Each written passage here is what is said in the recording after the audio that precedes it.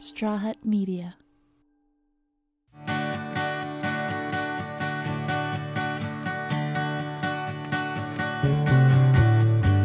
It was good to see you the other week, man. It, it has been too long. We can't do that anymore. We got to stop that.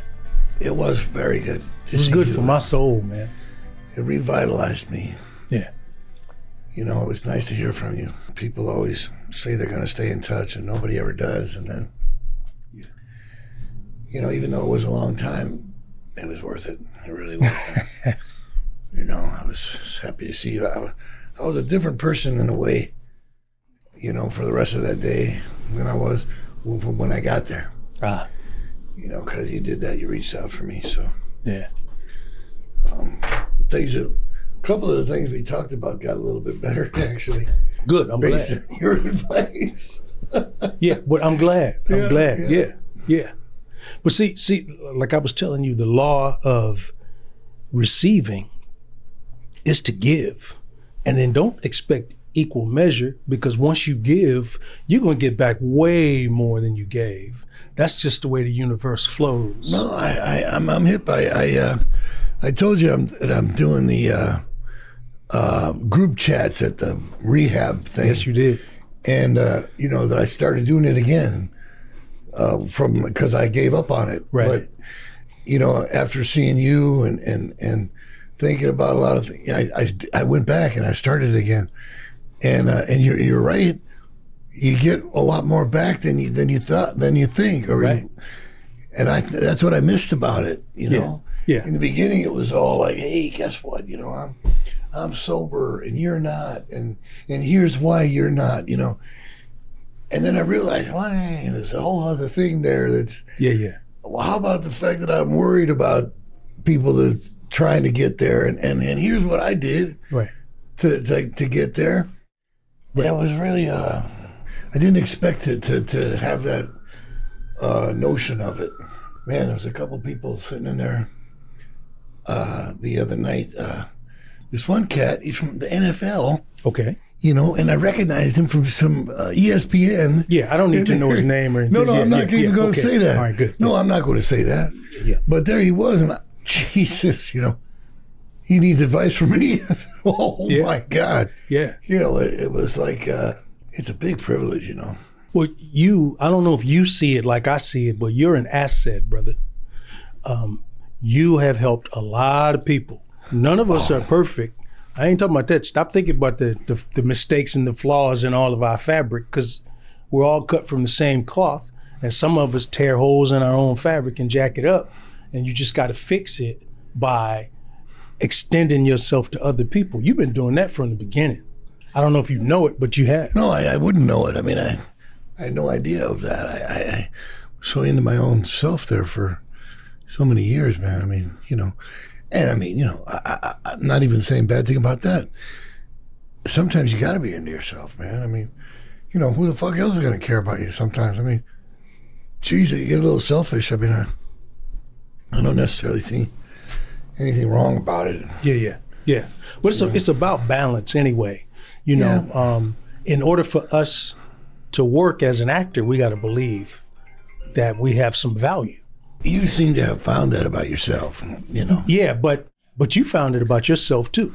There would be no Michael Madsen for the rest of the world to enjoy if you didn't first believe. So no, that makes that's the way it goes.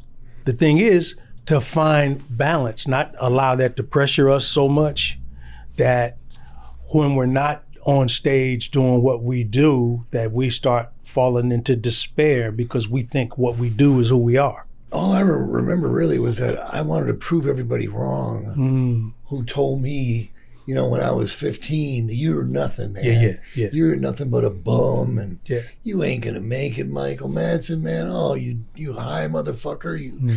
you, you, you burglarizing bastard. You know, you thieving. You know, you fuck you, man. And, and I, I was like, hey, no, man, God, I. I got something to give, and I, I'm going to prove everybody wrong. And you Yeah, know, yeah, yeah. I'm gonna do this movie. I'm gonna play a baseball player because because I never played baseball in school. Right? You know, and they're gonna be so surprised to see me smack that baseball. And he well, he never did that f- when we knew him.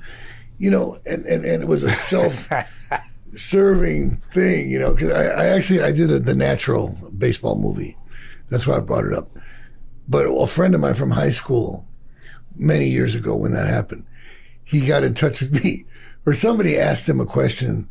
Did you see Michael in the Natural? And he said, "Well, he didn't make the team I was on."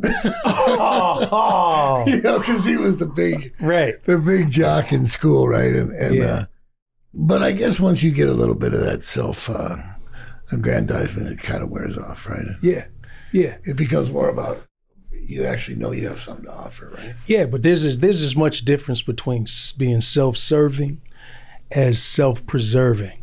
It's like that's what that is. Anytime the enemy comes along and motivates us to get into a fight to prove them wrong, and people oppose you, that's self-preserving because the winner inside us won't allow people to put us down to such a degree that we believe we have no value. You don't think I have value, but watch this, sucker.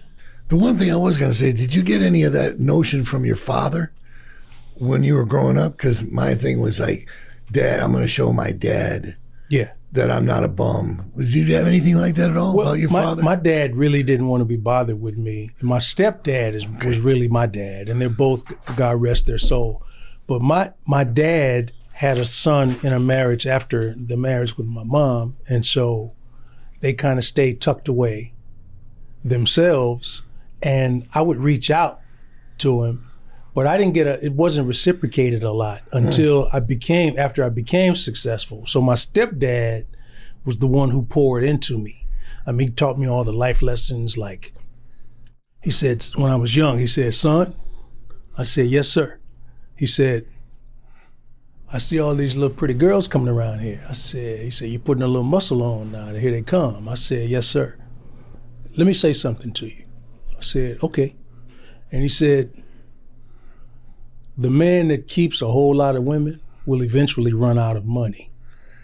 but the man who keeps a whole lot of money will never run out of women. oh my goodness, that's a that's a good one. That's a that's that'd be a good yeah, tattoo. but it shifted it for me. He said, hmm. "See that one? If she gets pregnant, children cost this, they cost that, they cost this, they cost that." And he would break down the numbers to me. I'd be like, "Oh, oof."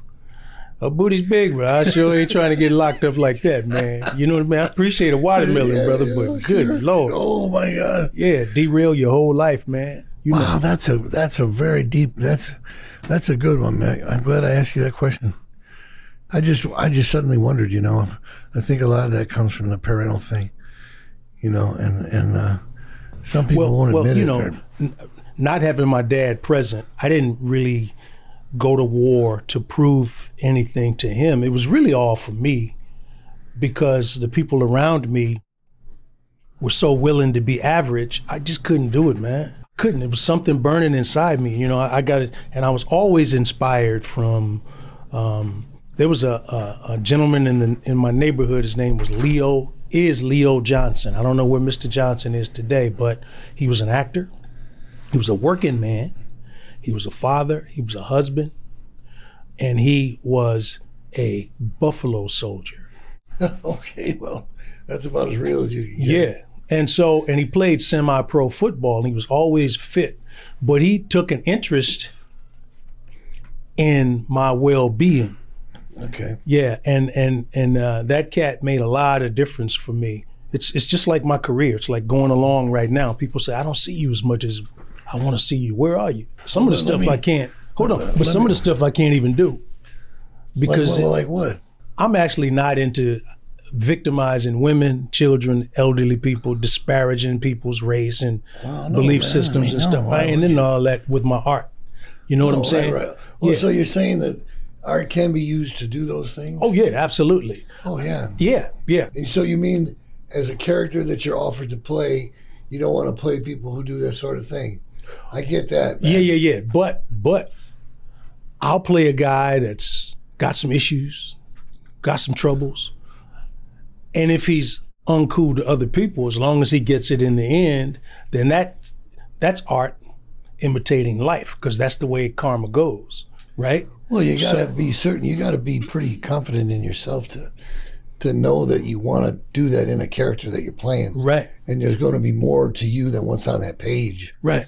And sometimes when you make it known in the beginning that you might want to do an adjustment on a role, people get scared, man. They're, know. oh, Jesus Christ, no, he wants to do this and he's Yeah, going to do that. No, oh, fuck that. Yeah. You know, we'll get another actor. It, it's it's a touchy thing to, to you got to be brave. And no, I'm not going to say it like that. Or I'm not going to do it like that. Yeah. They have to know that you that you have goodness behind your intentions. Yeah. But I'm always up front. I never get on the set and surprise somebody.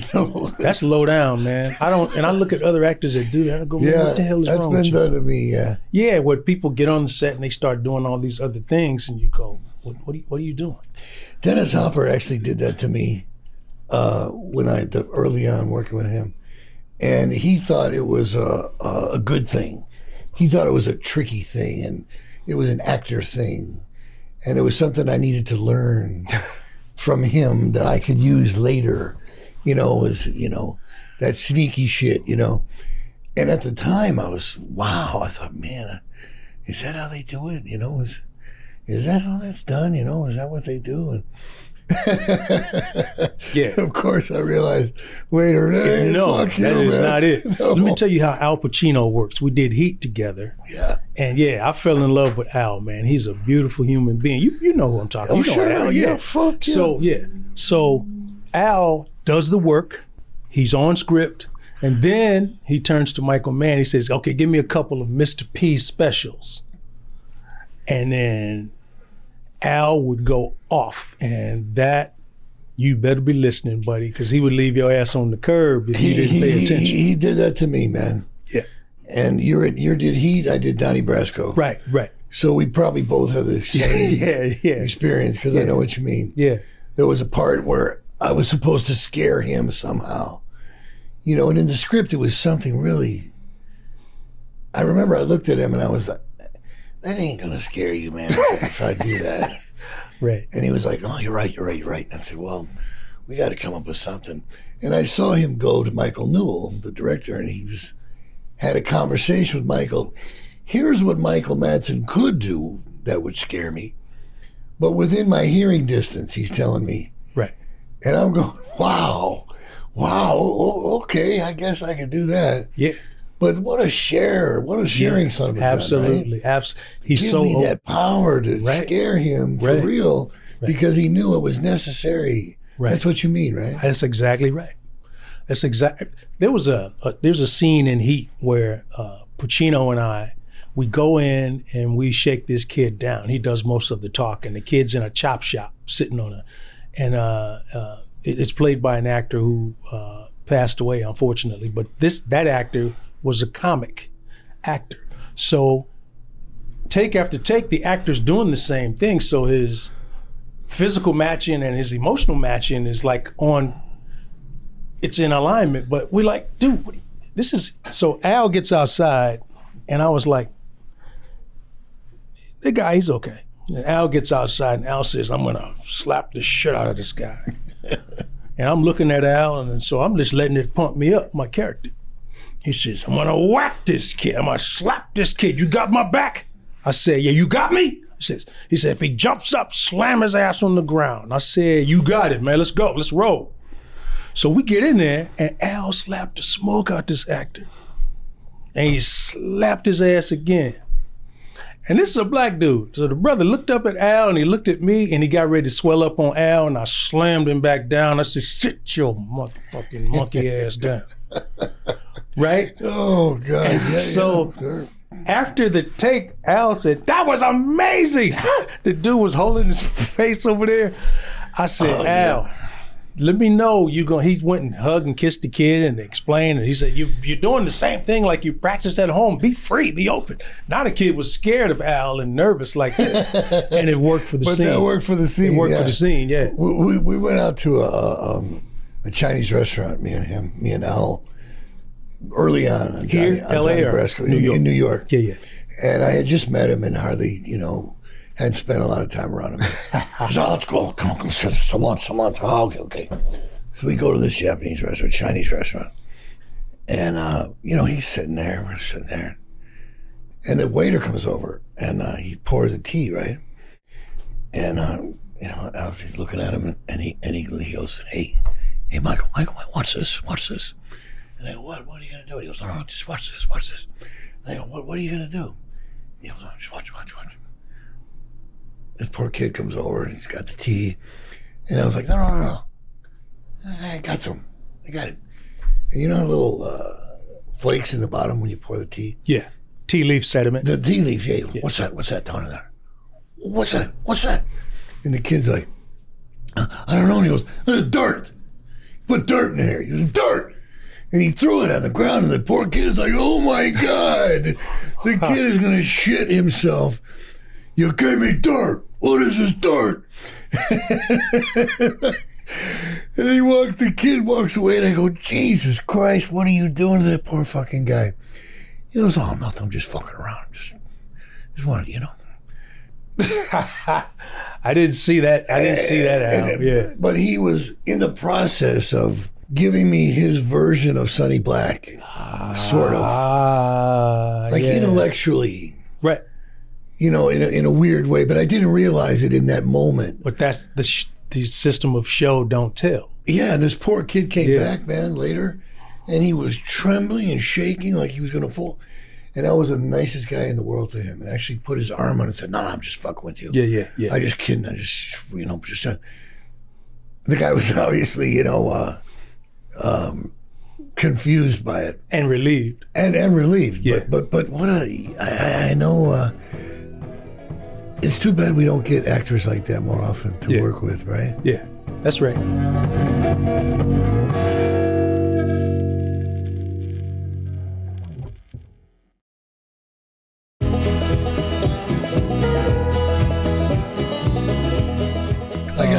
I got these these questions, and I got to figure out right, how to get them in here without sounding like. Uh, well, uh, okay, so you played some amazing characters throughout your career. Is there one character that you feel connected to more than another that had an impact on you personally? Well, no. I don't feel more connected to one character over another. I mean, there's some characters that I think have more effect on the public than others. Um, sometimes negative effect, like 12 Angry Men. And then sometimes, you know, with the late uh, Billy Friedkin. And then there's uh, projects like Fences and Forrest Gump that would do more to inspire you. I don't think we're gonna need that. You know what I mean? Yeah. Yeah. Yeah. So, so, but the answer is no. I don't really uh, care more for one character or the other. Be- When when when I approach character, I really don't say that word character anymore, because character is an excuse not to be real. Yeah. It can yeah. be it can be a crutch, and when I start talking about certain types of human beings, I'm talking about somebody's entire humanity, man. And mm-hmm. that's what I live out on screen is someone else's humanity. Hopefully they're flawed in a very relatable human way. But they're trying to be victorious in their journey. But that it's just it's the human condition. You know what I mean? You have to remember everybody is somebody's child. And you're gonna remind somebody of their kid when you're on screen. Do you feel like you've had a, um, an, an evolution of your career, like where your career is at now? Is it where you you imagined it would be at this point, in in, in, a, in a good way or a negative way? I would say there are positives, but the answer is yes. I did expect to be in this uh, situation in my career. On a podcast with Michael Madsen. Yeah, but that's a highlight. this is one of the highlights. But some of the other stuff are like the deals that get done behind closed doors Yeah, and yeah. different things. And you can feel people's respect for or lack of respect for your instrument based on the way they negotiate with your team.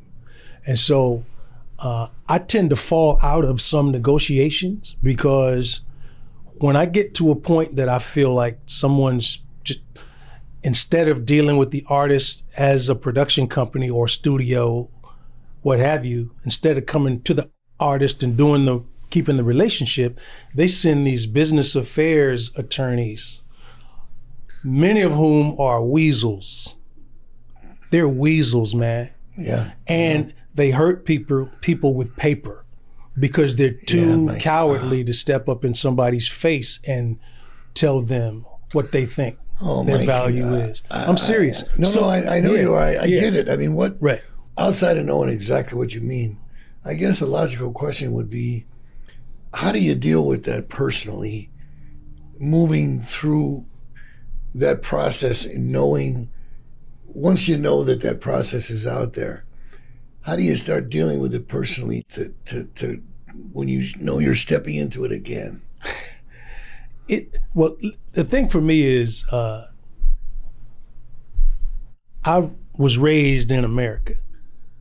So my american experience and yours are two different experiences. Yeah. i know what mine is. I had an example uh, i'll give you an example.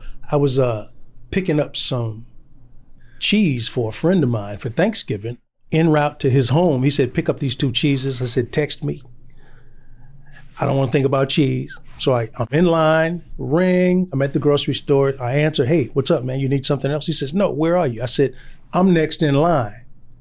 He says, what are the cheeses about it? 11, 12 bucks? I said, yeah, about that. He said, well, just put a 20 on the counter and walk out. I said, you done lost your damn mind. A black man is going to walk out of a store with merchandise and no receipt. Yeah. But he wasn't trying to be funny, but that Right, was his experience. Yeah, no, I get you. Yeah, yeah. So so in Hollywood, it's the same thing. We are constantly reminded who we all are Well, to the I- powers that be. I I think one of the best examples of that is it just came in my head was, you know, the the whole question of racism. You know, and and the white person, the white person will say, or the uh, common white response is, you know, I'm some of my best friends are people of color. Even though the saying of that is exactly representative of Right. something fucked up, right? Right, right, right, right. So No, it's true, man. But everybody they don't have their Oh. lenses on. They can't see what you see, man. You're a brave uh, cat, and I always say one of the things I loved working, loved about working with you, was you were you were brave, man, and and uh, yeah, I was young and I was producing that thing, and and uh, you know I had certain ideas of of things, but um, it was really the role that you had was so important to me because to me it was it was the the part of the story that was being over dramatized in the writing of it. And but it meant enough to me that I wanted to make sure it was covered completely honestly. And I could just say just about anything to you, man. Yeah. And you never lost it. You never for a second No. ever took a minute to say, What the fuck, Michael? You just went with it. And and it made me you know, we were partners, we were police cop partners.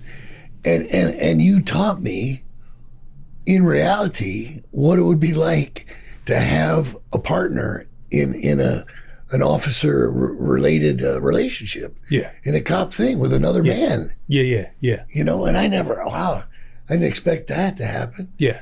It became organic, you know. Well, uh, that that's because you and I gave birth to those characters, those human beings. You feel me? And Yeah. so we brought a little bit of our respect. When you look at another man that you respect, it's really difficult to go into a world where you hate that person.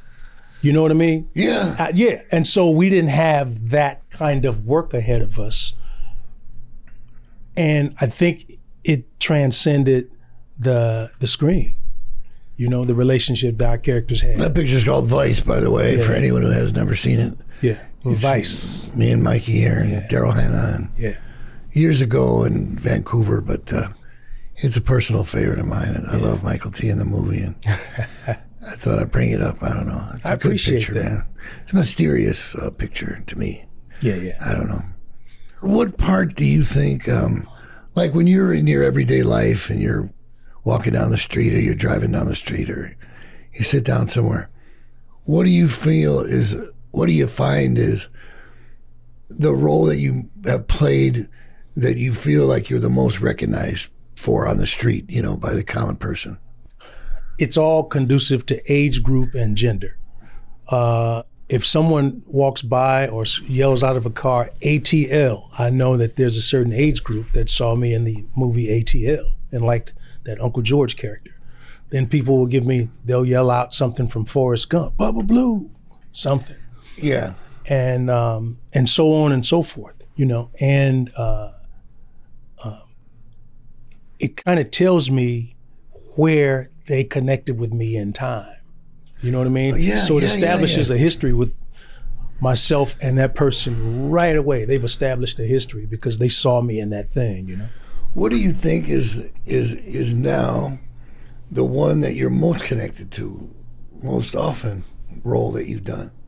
There's three, and they're all about equal. Uh, obviously, at the top or first, I'll put down Forrest Gump, the Bubba Blue role from that. Then I'll put down Fences, you know, and uh, playing Gabriel Maxson, you know, Denzel's brother's, uh, son, uh, Denzel's, Denzel, Denzel's brother character, and and then there's um, Waiting to Exhale, which women love. They go crazy for that movie, man. I apologize, I've not seen that one. It's okay. And and I'll also add that Chicago PD has a lot of fans. They have a massive fan base. And I did an arc on that show, season five, that people really liked. They loved to hate my character and they would love to see me back. But those are about the four. Do you enjoy directing more than acting? It's a different kind of joy. Um, acting is my first love, but I also love writing. I love, uh, I'm a musician, so I love to play. But I would say my greatest love, if I had the choice to do only one, that would be directing. Oh, that's interesting as hell. What um, what did you take away from Denzel when you guys did that? There's a, a, level of professionalism Yeah, that Denzel has that Yeah, yeah, yeah. reminded me of the old school, the guys Okay. that taught me. You know, the Cleavon Littles and the Moses Guns and the Scatman Crothers and all those guys who taught me, oh man, you know, and uh, Roscoe Lee Brownes and Glynn Turmans and all my teachers, you know. And so Denzel still operates from a very professional, focused position. He doesn't small talk. He's not messing around on the set. He may lighten a moment for a moment, but then he's just he's really wanting to get the work done, and he's not like stern. He's just in it, and you can't miss the fact that that brother's in it, man. I I did uh, an episode of of Saint Elsewhere with Denzel. Yeah, yeah, Okay, and I had been just off the the train from Chicago. You know, I, I was I didn't know fuck all, man. yeah, And he was the lead of that show, man. He was a doctor. yeah, Him and a guy named David Morse. yeah. They were the two lead doctors of St. Elsewhere, you know. And and uh, I was the um, I was like the uh, the bully brother. Like uh, my younger brother was in the hospital from being beat up by our dad, and uh, we didn't want the hospital to find out that it was my father who beat him, who beat his ass. Right. So we try to create a racial reason, you know, why he got beat up. And Yeah. so we made up this fucking lie that he was beat up, you know, racially. And uh and I remember I thought I was the shit, man. I had my I had this brown leather jacket, you know, that I thought was super cool and the, the zipper was broke, but I dug it because the collar was up and shit. And I was all cool, you know, and I came in I was like, you know, my father was, uh, you know, uh, we love our father, and you know that shit. And here comes Denzel, and he, he today he's that's him, but at that time he was the guy in the TV show, but he was way beyond me, you know, uh, on that moment, that's for sure. And uh, I was watching him, and uh, he has to enter the room when I'm talking to my brother when we're cooking up our little plan and I'm supposed to say the N word, right? And it's supposed to be the first time on television that an actor is going to say this shit. And I'm like, oh my God, you know. So I'm telling my brother, listen, here's what we're going to do. We're going to say the N. And right when I'm about to say this, Denzel comes in, right? Smart. You could imagine. So Smart, here we are in the in the in the rehearsal, and I'm like, see, I'm like, just gonna tell these people my, that that this was done by the. na-" And there's Denzel staring at me. And Jesus Christ, you know, I was blown back by the honesty of his his presence in the moment. Yeah. It wasn't nothing to do with acting. You know, it, it was a reality. And it hit me so hard like, wow, Michael, wake up, you fool. You know, and uh, so we did it. And then, uh, like around lunchtime, he was wandering around. And I said, hey, man, I go, um, what, what do you, what you, how did you do that? And he looked at me and he goes, well, Do what? And I said, Well, you know, when you come in like that, you really got me. And I don't know, man. It really, it was, I don't know what, what, what are you, what are you using? And he, and he, he goes, Fear. And it was just me and him alone, you know. And I said, Fear? And he goes, Yeah. I said, Fear of what? And he goes, Of that. Meaning fear of fear. Yeah. What a gigantic thing to say. Right. Holy Jesus Christ, you know? I never forgot that. Yeah. Yeah. I never forgot that. What a tremendous, uh, you ain't got to get taught that in acting school, you know? Well, it can develop in acting school, but you know, I, t- to Denzel's credit, his wife is that pure as an actor. His daughter Olivia is that pure. His son, uh, John David, is that pure, and his son, other son Malcolm, as a director, is that pure. That family's royalty, man. They're No, the the, the, brevity of that, of, of saying that, the honesty of that just blew me down. I always wished years later we had found something to do together. We never did. I don't know, one of these days, maybe someday. Yeah, I sure, it. I sure would like to. Yeah. What role haven't you played uh, so far that you're still hoping will, will come around for your career for you? Um, just a different kind of human being. I played all the different kinds of human beings I've already lived through, but just something different. Um, and every opportunity presents something different because the script is different, surrounded by different cast. So I make different choices, and that that becomes the challenge: is to go from one movie and not do the same thing you did in that movie. For me, as a character actor, and do some. But if you're like a Tom Cruise or Michael Madsen or a cool guy or DiCaprio, you can do this. Man, there's certain things people want to see you do. Yeah. You know what I mean? Like Eddie Murphy, for example. They want to hear that laughter and the things that distinguish him from other people, and they want to see that stuff in you guys as leading men too. Do you, do you, do you find that that sort of definition of an actor has held you back ever or prevented you No, from doing something? I've, no, I've always wanted to be uh, uh, a character actor um, because I was taught young that the character actor's career takes off like a jet.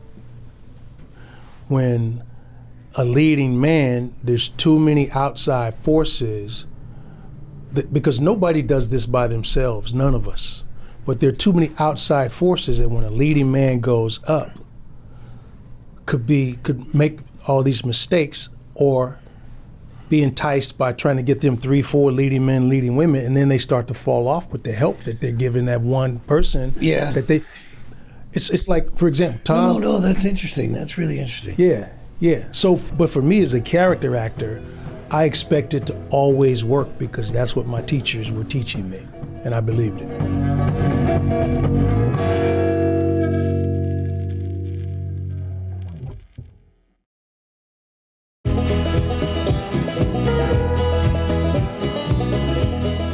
There have been things that, that I did that I thought were so much better than the things that are typically expected of me. Right, right.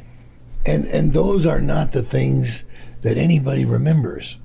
And those are not the ones that got all the attention. You know, is that what I meant is like once you get uh, stereotyped and once you get we like to see him be that guy.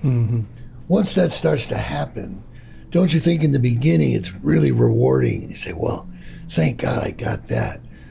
But then later on, um, was it your experience that you would think, man, you know, I've done some other things and they're never going to be thought of as fondly as the typical cigarette gunfire person thing.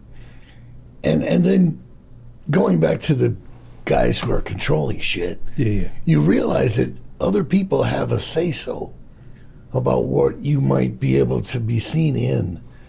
And those fuckers, you know, albeit whatever they're dreaming of, they don't want you to move out of this certain thing. Right. I played a boxer. I played an Irish American prize fighter in a picture. And uh, I thought it was pretty damn good. I mean, I thought, oh man, this is my thing. I, I've arrived as an actor. You know, this it doesn't get better than that.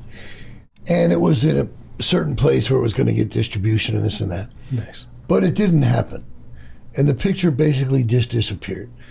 And when I got in touch with the distribution end of that area of the industry, a couple years later, I found out that they had purposely not wanted to back me in that role. The one guy said to me, Well, we're not going to bet against ourselves, he said to me. Meaning, Madsen is a surefire. We give him a cigarette and a, and a pistol, and he's going to put somebody down or smack somebody, or he's going to do this or that. That's going to work. And we got to keep getting him for that. And if we support him in this other kind of part, he's a father. He's not smoking. He's a, a, a prize fighter. He's fighting for the life of his son. My God, you know, no, no, no, no, no, no, no, no, no, no, no. They weren't gonna back me for that. And I'm and I'm wondering. I know that you know what I mean. And so, have you encountered that in any role that you thought was outstanding in a way that you were purposely buried in it? Um, I, Kiefer Sutherland, uh, whom I love. You know, Kiefer's a good dude, man. Yeah, no, He's sure, a beautiful you know, cat. yeah, and yeah. so uh, Kiefer asked me to do this project that uh, Brad Mirman had screenwritten called Mm-hmm. "Truth or Consequences, New Mexico." Okay. Martin Sheen came and did a cameo for us. I mean, it was loaded with talent. Kevin Pollak. Uh, it was just a bunch of us, right? And when that movie came out, was about to be released, the executive, the head of the studio, there was a changing of the guard. Mm-hmm. So the executive that supported our movie and had it teed up for wide distribution left, and the mm-hmm. new executive came in. And as I understand it from my observation, you don't see executives promote a former executive's material. You just don't. right. No, they, They want just, they just, yeah, they just don't want that thing to be big. and they had no, it's not a part of their DNA. That's what I meant. Yeah. Yeah, yeah. Here, here's another thing I went through, man. I was uh, on a television series. It was a third in the lineup, the eight o'clock slot, right? Tuesday nights, eight o'clock, nine o'clock, and we were a ten o'clock show. And uh, the network was winning every week. It was crushing people. So we get moved to Friday. Lost the audience. The show they put in its spot, the audience didn't buy, and they started looking elsewhere instead of this network, and the, all everybody's ratings fell off. Then they moved us to Sunday. That didn't work, and eventually we got canceled. The hottest show on the network in the 10 o'clock slot, winning the slot every week. A few months later, I'm at that network, and I'm walking down the uh, walkway upstairs, and then a woman comes out of her office. Behind her door was open, and she saw me pass by. She ran out, Mykelti. And I turned around. It was this casting person. I won't say her name. But she said, How are you? She said, I'm so happy you came in for this. You're right for this. And I'm really sorry about that. And she named the show that I was on. She said, Oh, did you hear how the show got canceled? I said, No. She said, Come into my office. We walk in. She said, Close the door. I closed the door. And then she said, the executive in charge of the Friday night 10 o'clock slot and the executive in charge of your Tuesday night 10 o'clock slot played a round of golf and bet your show's time slot. That's how you got moved to Friday. You got lost again. We moved you to Sunday thinking, and the whole night fell apart. She said, I'm glad you're here.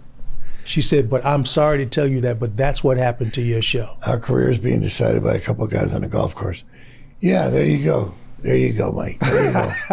so that There go, sums it up, man. I, I did a show. I did a, a series once for a big network uh, many years ago, and uh, it was doing. I thought it was doing very well.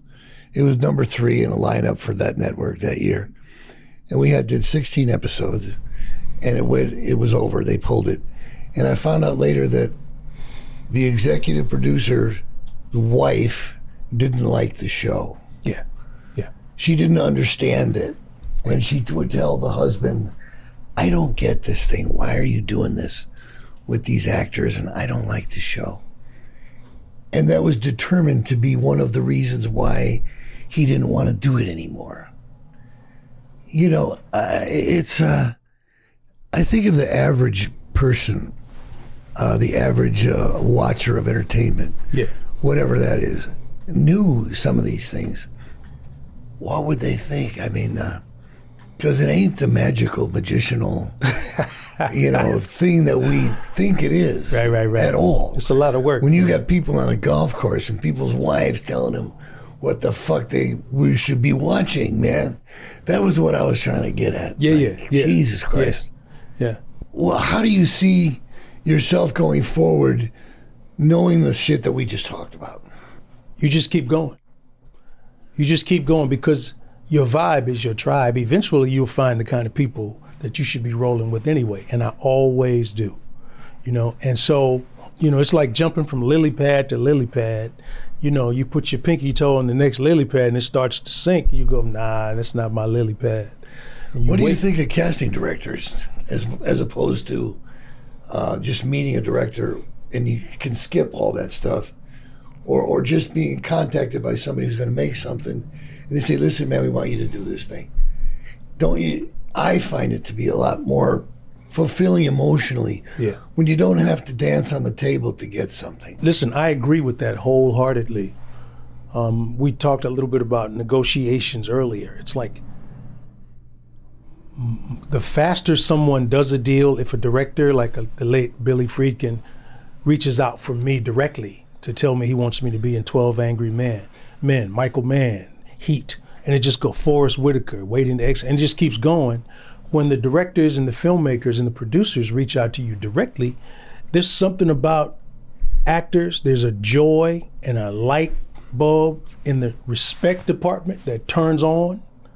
Yeah. And you cannot stop us from shining because we feel so respected. We feel so appreciated. We don't feel hammered down by some business affairs affairs attorney. And you wanted us to be part of this process. And it's different when you walk on the set, right? Yeah, Because you know, hey man, I'm wanted here. right, I don't have to prove anything. I'm not here to prove a goddamn thing. right.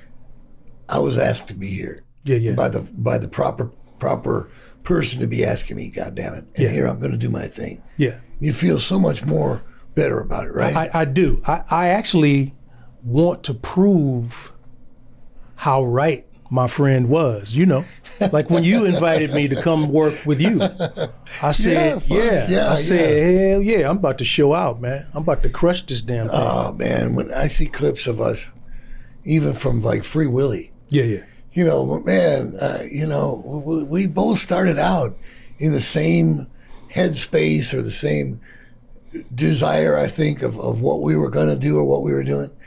And when you see us on film Yeah. that long ago, it's wonderful. There's something wonderful about it, It's magical, brother. you know? I loved it. And we made it, man, you Yeah, know? we did. We're sitting here talking to each other in an office on Melrose, and, you know, God damn it, you can't, nobody can take that away from you. Nobody Right. can take that away from us. That's exactly right. Because that's legacy, my brother. That's legacy. You know, you mentioned, you asked me if I think the casting, I, I understood your question to also include behind your question uh, if one is better over the other, a casting director or a producer. It, I think casting directors are amazing Yeah. because when I work as a director, I don't have time to look through 20 guys to get come up with the top four or five. yeah. And so if there's someone I have in mind, I'll put them in that four or five and casting knows it. But then you always have to back yourself up as a casting person in case Michael Madsen is not available. What's Yeah. my next choice? So it's a very casting people are amazing. They get us. Well, And, sometimes. and yeah, yeah, and they're very important, as you well know, very important part of that component. You know? in the beginning, though, don't you think? More so in the very beginning, when you're young and you're trying to make it, and you have a certain idea of what the industry is, and you, th- I'm going to meet the casting director, and this is how it's done. Yeah, yeah, Years later, if you're lucky enough to have survived long enough to have your work speaking for itself, you, you you're you're able to have the privilege of skipping that part of it yeah, yeah. uh, wi- out of respect, Right, not losing respect for casting people or what they do, right. but you no longer need to have that presentation of you. guys like us, we have a body of work that people can refer to. But still, there are times when you may be directing something. And uh, I'll use Denzel as an example. When we were doing Fences uh, on Broadway, everybody loves Denzel. D is just cool with everybody. But how can he just pick one or two actors and say, no, he had to see everybody so no one's feelings were hurt. So he had to deal with that part of it too. You know mm-hmm. what I'm saying? Yeah. Because you don't want to alienate people and go, what? I did that play for, for Oh, you it's know. such a personal Yeah, yeah, thing, yeah. man. So, but that's ah. the way, that's the way it has to be done. At a certain level, when people love and adore you, you can't start, Well, you know. you're gonna, you know, put it in the category of Denzel. Obviously, you're also referring to his own personal intelligence and, And- respect for him, Yeah. knowing that. and integrity. But you're not going to get that from Right. 75% of the casting process that, that happens to an actor that's at the true. beginning of your career, man. Yeah, yeah, yeah, yeah. That's true. I mean, wow. I mean, I'm sure you you you like I'm sure was went through similar experiences in in that, you know, casting director atmosphere. Right. Know, I'm pumping gas in Beverly Hills and I was going in to read for Miami Vice or or Cagney and Lacey or something. you know. Right. Right. And I just figured, you know, that's the way that you do it, you know. And and and I had gone to one meeting, uh, and I was on my way to the pump gas, so I had my blues on with my sh- mic on my shirt, Right. You know, and I was on a motorcycle, and I went to MGM, you know, and I went in this office. Holy Christ, man, you know, and they were making this little, you know, camcorder thing of Right. me, and you know, I was all like, wow, you know, uh, I was thinking I'm late for work and, and I'm reading this copy and stuff and oh, you know, and I got the part like two days later, but they said to my agent, you know, we just wanted to let you know that we thought Michael was a fucking genius for showing up dressed like a blue collar guy. That's funny. and I was, oh my God, you know? He's a genius. And he's a fuck. I'm a fucking genius. I went to Western Costume. I got a give me a, a gas pumper's uniform because I'm going to wear it to the audition. Many years later, many many years later, Right. I refused to go to casting directors because I thought that I had arrived. And so, Oh, yeah, yeah. you know, did a couple of movies and some big stuff, and I thought, yeah, you know, I don't have to do that anymore. And I went for a reading for a, a picture, a cowboy film, with a very uh, big name actor uh, and uh, a big A-lister in a big studio. Right. And I was to be his brother in the story. And uh, I went in and I didn't want to do it because it was casting director. And she videoed me, you know, and I, uh, I did my interpretation of what I thought the brother, and it's a historical film, so it was certain truth based in there somewhere. Right. And I was doing what I thought the brother would most likely have been, considering who the lead actor was at the same time. Right. And I remember she stopped me and she said, "No, no, no, no, no, no, no, no. I don't. I don't even recall her name honestly, but she was a well-respected casting director." And she said, um, Michael, no, you're you're just you're, you know, you're you're really you're you're taking it. You know, you're you're, it's too much. You know, you got to remember this movie's not about you. It's not about your character. And I and I realized that I took what she said the wrong way to a certain degree, but also I I took it as encouragement to do something different. And I was like, well, okay, what do you mean? And she said, you really got to underplay it. Just really bring it down, Michael. Just, you know, be almost just, you know, compassionate, uh, discompassionate, you know. And I said, wow, well, you know, is, is that what they're looking for? And she goes, yes, in this situation. And so I did it again. I did it a couple more times, and I did it way, way, way, way, way down, you know, just, uh, you know, almost uh, just nonplussed, you know. And anyway, I didn't get the part. Uh, it went to another actor, a, a good actor, a, a great actor, and I d- obviously didn't do the film. But I never forgot about that. And about three years later, uh, a friend of mine said to me, "Remember when you read for so and so?" And I was like, uh, "Yeah, I do remember that." He goes, "Wow, you know, there was some people sitting next to us in the restaurant." And they were talking about you. And I said, Oh, no, really? And it was the director of that movie. And I said, What did he say? What did he say? And she goes, Well, well, he said, you know, that he had read Mike Matz. He had he saw Michael Madsen's video and that he had been depressed because he had thought Michael was going to bring something more to it. And he didn't want to give him the role because Michael had been so kind of, you know, so not no non energy Wow. in, in the audition. And they were having this But you were following direction. I was following directions. Right. So that's what I was trying to get at with the casting for a young actor coming up, which I would imagine you being on the show. There's going to be a lot of younger guys, younger talent that are going to, what the hell's Mykelti have to say? Right. And they will respect you. And uh, what advice would you give to a young actor on how to deal with the casting process, considering the fact that you and I know that that certain thing can happen and you could be changed by another person Right. like that. Right. What are we going to do?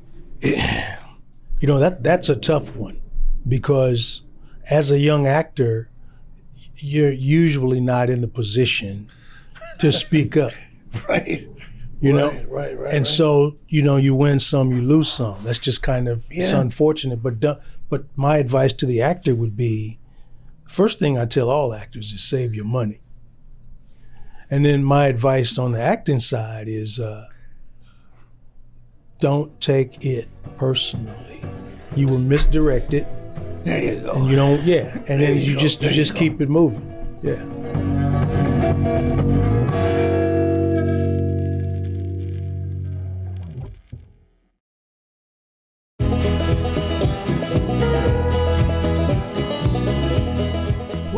Origin of your name, Mykelti? I, I've Mi- never heard anybody in my whole life named Mykelti before. Yeah, Mykelti is a, a Native American name. It uh, it's from not the Blackfoot tribe, but its origin is from Blackfeet tribe, Okay. uh, and uh, it means silent friend or uh, spirit like God.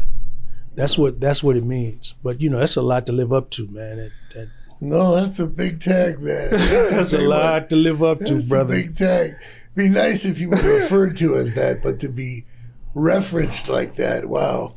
yeah. Have you found that, that um, you are that, by the way, though? Do you, do you find it a burden to live up to that definition? No. I think if I just do what I know is the right thing to do and live so I can look at my face in the mirror and my kids aren't ashamed, my wife ain't ashamed, my family, my friends but are not it ashamed is, of me, though, see? then I'm good. But there it is, though. See, so you you are the embodied definition of who you just described that your name i- i- Well- means. let, me, let me explain. This is this is how how how not religiously, but this is how I see God. The ocean and we are just a drop from a thimble in that ocean. If we're honest with ourselves, we know that where we live right now is the ocean And we have to kind of dissolve into this God consciousness and be the best dudes you can possibly be, or best dame you can possibly be in your journey, the one you can possibly be. I didn't say you won't make mistakes. I didn't say there won't be times of desperation along that journey because there have been for all of us. But find your way out of that to back to being the best person you the best version of you possible That's a pretty brave uh, thing to say. I'd like to believe, you know, in my finest hour that I'm. I feel exactly the same way. Do you find it difficult to live up to that own your own definition of what you want yourself to be defined as? Like No. as, as far as we're up against a lot of shit, man. yeah You but know? yeah i understand but i don't i don't let it i don't i'm not influenced by it. I see it and i there's a lot of stuff that puzzle me man. Every day. You might think i'm a pretty bright fella but there's some stuff i don't know. I, and I, I, I see on the street, yeah. you know, out there, you know, yeah. arrogance and and and hostility and and, and insincere friendliness Yeah. and and just like like a lit fuse, you know, is Yeah. going and and and and then I wonder, you know, has it always been that way, man, or or or, or is it just are we older now and I'm seeing it that way? Well, there was a time when people had shame. Okay, okay, You know what I'm talking about. exactly. I know exactly. If, what it's a if man, if I do that and get caught, my wonderful family. thing to say, man. Gosh, Mike. If I do that, if I steal that, my family, I get caught, my family. We had shame, oh. But And conscience, and conscience. yeah, conscience, yeah. But what's wrong with the country today is our leaders are too mean spirited. They don't exhibit the level of class that should rub off on us. They're mean, and they have transferred that mean spirit in this social experiment because this is a social experiment, America. yeah, But in this experiment, with the social engineers that work for our government, they should we should have a much more conducive society to harmony. But we don't because these social engineers find it profitable to divide and and profit, and that's what they're doing. to me, it's troubling thought that that um, it's it's it's it's a, the buy sell buy mentality. Because you're absolutely right. Right. Isn't a certain degree of that what created a world where we can have art and we can have what we do, and at the same time, it's created this whole other hell of of of of lying and deceit and Yeah, yeah. Yeah. and, and, and all that other shit. So Yeah. where do you draw the line personally in, in dividing those two kind of thoughts of, of, of thinking? Well, I, I minimize the amount of uh, social media that uh, Okay. that I allow into my life. You know, I control it. I don't let so much of it in that it starts controlling me. You know, because now what you're responsible for all these millions of followers. I don't even want that. I don't want to talk to somebody every day. I just don't. I'm just not interested, man. And so I minimize my exposure to social media, to so-called news. So called. Yeah, because you and I both know that if it's on the radio, you hear it, that's programming. If it's on television, you see it and you hear it, that's programming. Mm-hmm. If it's in a magazine, you can read it, that's programming. And that's what we do. The word entertain, its origin. I remember when I was a young guy and I learned the origin of the word entertain. It means to enter and hold captive. Now, see, if you contain something, it's held captive. If you retain an attorney, they're held captive. If you obtain, it's held captive. Entertain is to enter and hold captive. But when you do that, you have a tremendous responsibility, man. It ain't just about the damn check. That's stupid as hell.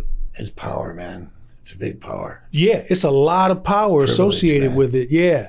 I live in a very regular house because there's certain things that I won't do because I know what it is. I know how it's going to affect kids. I know how it's going to affect anyone who watches it, the programming that's gonna go down. That's why I don't mess with a lot of stuff, man. I just I don't fool with it, brother. Well, what do you think is the best advice for, uh, in the parental way? You know, we're both fathers. Yeah, yeah.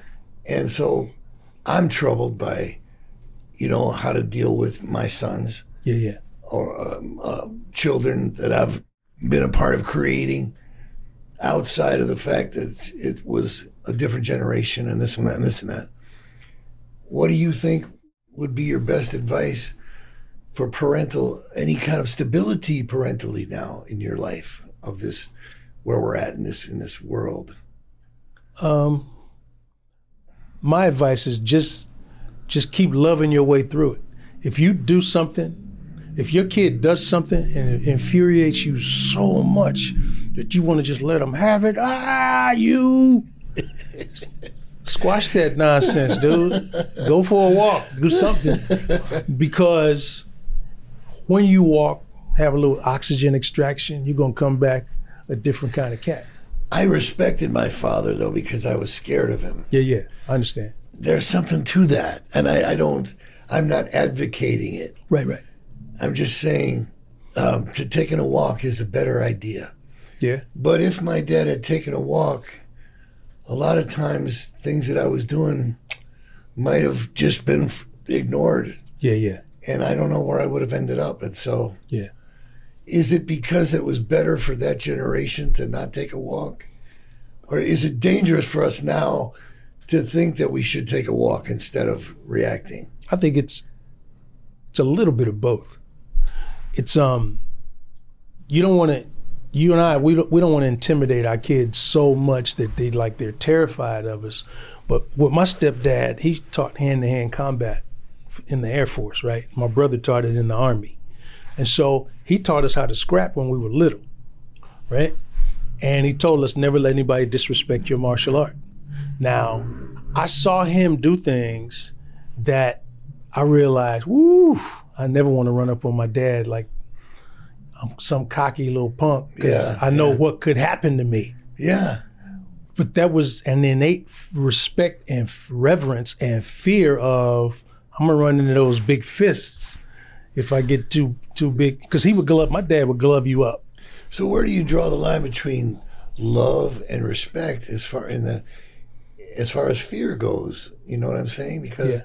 if I respected my father because I was afraid of him, I still, my God, I love him. I loved him, but um, like, what do you think of masculate, ma- the masculine man, masculine men? I mean, to be demasculated. Don't you think that men have become demasculated? Yeah, I do. I don't think it's okay. It really bugs me. It well, it's not appealing to me. When I see a, a manly man, that's respectful and appealing to me. If I see a softer man, then I might have to protect this dude. And that just looks like work to me. so I try not to roll with dudes who are too soft because Oh, that's cool. no, I'm just no, saying. Yeah, it's no, like, sure. yeah, I don't want us in trouble. You know, I roll with some cats that uh I roll hard with cats that are like you and me. I I wanted to project to my sons uh, that that idea of nobody's gonna fuck with your dad. Okay, and from them to learn, wow, man, yeah, my dad, yeah, you know he he wasn't gonna take shit. But then finding out later in life, there was a certain part of that they might not have really needed to that level. And how much of it was I only projecting what I had been taught Right. into their minds when they didn't? They look at me like, "Dad, what the hell are you talking about?" Yeah, yeah. Yeah. You know? But you and I, we're from a different time. And, and we have to accept that all the valuable lessons, the drive and the ambition and the respect for self and the respect for other men and women, that is something that came to us through our journey. Right now, my children, they have a completely different journey. I have a 30 year old, she gets both sides. She gets this new business and she also gets the old school business and she prefers the old school business and she's 30 you know she's half my age so No, that's a blessing, man, for Yeah, sure. You know, yeah, I, I, I, yeah I think we got a tough time as dads these days. Do you think so? I agree. First of all, it there seems to be uh, a programming that's out there that wants to soften all of our edges. And people, when people want you to change, want to force you into changing, they start calling you names. Yeah. Right? So people start calling you, making up names for you, you know, uh, because you like who you are. You cool with anybody being who they are, but just don't pour it in my cup. I just want this. Just keep mine regular. Don't make mine fancy. You know, keep my. I want to keep my life regular, and I got I got love for everybody. Here's here's the way I learned how to love my enemies. The revelation came to me that some people I love close to me, like you and a bunch of my other friends and family. I love all you guys close to me, as close as I can get you. And then there's other people I love them as far the hell away from me as I can get them. because no, but seriously, Yeah. because the further they go, the more I'm able to love and pray for people like that. But if they're up in your business and your cheese harming you, it's hard to get to a place of love. That's why you we got to give people the gift of distance, brother. Bye. No, keep going. Keep going, dude. Yeah, yeah. Walk on by you. Yeah. But that's how you do. That's how you walk in love. What do you think about violence in movies, violence in film? I think it's entertaining. Yeah, And I think it's just movies. I agree. Yeah. Yeah, I think it's just movies. And uh, there used to be the way our movies were made, the person that initiated all the violence was not the hero. That's why it was less harmful. But now you've got anti heroes, you've, you've got violent people that audiences have a lot of not understanding, but compassion because it's it's been written that way. Well, you can understand a villain, Exactly. Yeah. but you but when you start sh- letting people have compassion for a rapist or a mass shooter or something like yeah, that, no, that's that's that's up. a whole other sick kind of stuff. No, I prefer thing. watching Denzel as an equalizer. Right? You know that makes sense to me. Yeah, man. And if you look at the old John Wayne pictures or the old big, uh, big studio pictures, um, even when there was the Cowboys against the Indians, most of the time the lead actors of those pictures were the ones that somehow had a little compassion for the Indians. Yeah, yeah. The, all the other guys could could call them the Right, terrible whatever. things and Just- and chop yeah. their heads off and, Right. and shoot them off their horses. Right. And the main dude was always like, "Well, you know, you know, we got to have some understanding for these folks." All of a sudden, they turn into Daniel Boone, you know, and and, and you go, oh, "Wait a minute." So it would seem like the powers that were making those pictures wanted to not bury themselves so deep that they had the lead person be the understanding cat of, of these other nations and other things. Right. And it was very purposely done. And the secondary, the, the supporting actors would have to be the ones that would did all the bad things and said all the bad things. Right. And and I always liked anti-hero, me. Yeah, yeah. I could completely relate to the anti-hero. Yeah. And I think more now than ever, it's Yeah. become really attractive. Yeah. Well, when when I say anti-hero, technically, I don't mean the hero, but just now has to take retribution on behalf of victims. That's that's still a hero. That's not an anti-hero to me. That's So- still a straight up hero, like Denzel and Equalizer. You know, that that's a hero, brother. Yeah, Yeah, uh, Jason. relate to that. Yeah, but Jason Beghe and Chicago PD, you know, Jason is uh he's that guy when he goes, yeah, well, we'll take care of it. you No, know it's gonna get taken care of. No, I, I, I, I, I'm very comfortable with a role like that. Yeah, yeah, yeah, And I love watching actors who can do that yeah. because there's a lot of them that can't do that. Right, And they try to do it and it doesn't work. right. Some of the big A-listers, you know, in the 60s and 70s, you know, there was a few of them that could do that, Yeah, you know, and, and, and you believe them when they did it. But um, it's become a rarity, I think, in, in the, the talent of, of portraying that, don't you think? I do. Well, like I talked about earlier, people calling us names. Like they, if you're masculine, they start calling it toxic masculinity. Masculinity is not toxic. No. If it's toxic, that's some whole other stuff, man. Because a, a guy who's masculine, we there's a code, there's a man code, and you know what I'm talking about. Yeah. Yeah, we have a code, man. And if the people don't know what I'm talking about, it's none of your business. Period. But we have a it doesn't man need code. to be really. It- know? yeah, It- no. It's a challenge in a weird way. Yeah. You're fascinating to me as, as an actor and a, and a, and a person. Um, what was your favorite film of all time when you were growing up? Like, what actor said, "Man, that that fucking guy's got the shit, man"? What film? Like, I what would actor say- what movie? Well, Because it, we it- all got one of them somewhere, right? yeah. I mean, but, but for me, it was it was it was Sidney Poitier. Okay, yeah, Fu- yeah, man. Anything Sidney did, Oh, I was like, on. come on, man. That's they put that's the mark. in the Defiant ones with with Tony. Right. you know the, the the I mean the two most opposite personalities you can imagine in the film industry. They Right. handcuffed them together. Right. wow. Right. What an incredible picture Yeah, that is. absolutely. Okay, way ahead of its time. Yeah, way, way ahead. But timely, none the same. Ahead of ahead of their time, but also timely. Yeah, I was inspired by Sidney Poitier, man. I, I um, am so privileged to say that I had the opportunity of getting to know him That's and, lucky, man. and, and travel I- with him, and you know, Wow, it's so wow, yeah. that's, so uh, yeah. geez, I mean, have you written a book yet about yourself? I have not. I have notes, but I haven't written the book yet. I think you should consider it. You know? Anybody who has your kind of memories and that kind of ideas, I mean, Yeah, you got to do that, man. You, you really, you should. yeah. What role that you have already done are you most proud of? I would say Gabriel Maxson, Fences. I would say that's one of the ultimate roles uh, in my career. So, like, if you were, if you're gone from the world, Yeah. and somebody said, "Okay, what, what is the quintessential Mykelti movie?" Yeah, Fences. Okay, all right. Yeah. This is your show, and you're my guest, and and and I'm blessed to have you.